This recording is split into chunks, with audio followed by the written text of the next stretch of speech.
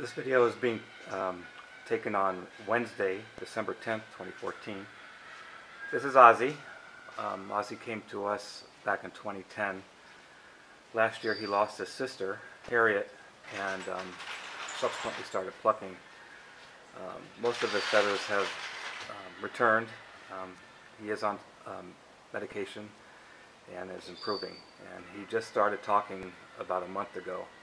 Um, when his sister passed away, um, he stopped for a period of time.